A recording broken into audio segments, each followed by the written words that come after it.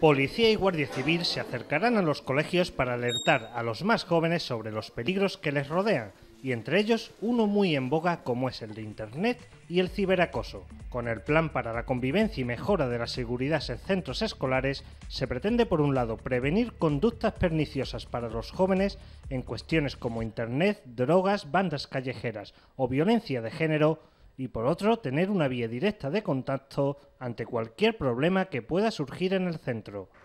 La acción dirigida hacia el centro es el apoyo a los educadores cuando, cuando detectan un problema ya sea de cualquier tipo, un acoso, un tipo sexual, un tipo, eh, cualquier tipo, un bullying, eh, drogas detectadas, problemas de violencia en la familia, bueno, todo esto lo derivamos cuando tenemos conocimiento, les apoyamos en consejos operativos de policiales o lo derivamos al grupo correspondiente. El ciberacoso en sus múltiples variantes es la charla más demandada por los colegios en este ámbito, ya que es una conducta que se ha duplicado en Huelva en los últimos años y por la que se reciben hasta cinco denuncias mensuales. Hablamos de los riesgos de Internet,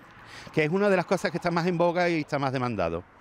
dado el auge de las redes sociales y dado la cantidad